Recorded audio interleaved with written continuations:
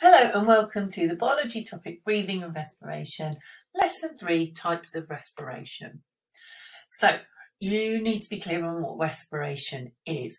Um, you've got some different images there. One of uh, oxygen, it's meant to represent oxygen, um, the balls of the oxygen gas, and you've got a muscle, you've got glucose, you've got carbon dioxide, and you've got a picture of a sports person there.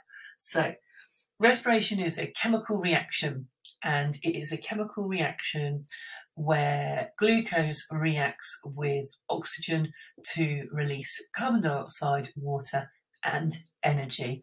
And there are two different types of respiration. One is aerobic and the other is anaerobic. We're going to take a little look at both. And we're also going to look at respiration in humans and in another example. And in this case, it's going to be yeast. So, aerobic respiration. All living organisms respire, and it includes plants as well. Okay, got a little image in the bottom right hand corner there. That's for mitochondria. That is a site of respiration.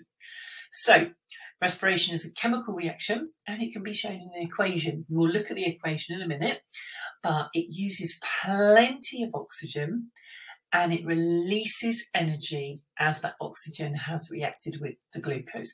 And we take the glucose in in the form of food.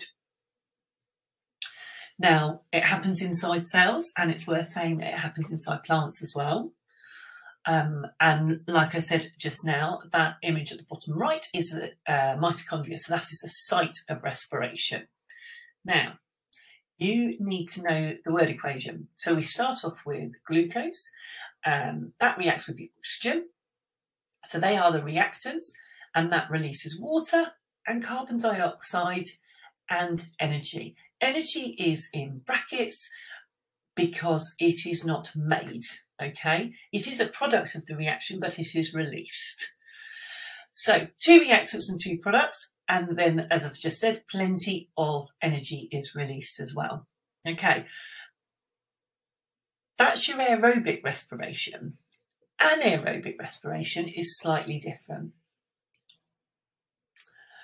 This involves glucose and occurs in a lack of oxygen, and this will release lactic acid instead of the carbon dioxide and water and a very small amount of energy. That's the word equation there for it. So, no oxygen involved, one reactant, one product, and a lot less energy released. Anaerobic respiration takes place in humans. We've mentioned this already. So it occurs in the absence of oxygen. It's much less efficient and it releases a lot less energy than aerobic respiration. It releases lactic acid in the place of carbon dioxide and water, and this lactic acid builds up in the muscles when the person is exercising, and it's really painful. Okay, eventually that lactic acid has to be broken down, and that's what um, leads to an oxygen debt because you actually require to take in a lot more oxygen to break down the lactic acid and to return to aerobic respiration. Okay, anaerobic respiration in yeast is a little bit different. Again, it occurs in the absence of oxygen. However, in yeast, it produces ethanol, carbon dioxide, and it still releases some energy. Now, it's also known as fermentation. So it can be used to make beer.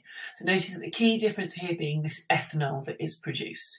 So you have glucose broken down in the absence of oxygen, but will release carbon dioxide, ethanol, and some energy. Right, that's the end of lesson three. You've looked at the two different types of respiration and you've looked at anaerobic respiration in humans and in yeast. Um, you need to know the differences. You need to know where respiration takes place and you need to have a think about what oxygen debt is. So if you go off and complete the worksheets, rewatch the video if you need to, and we will see you again soon for lesson four.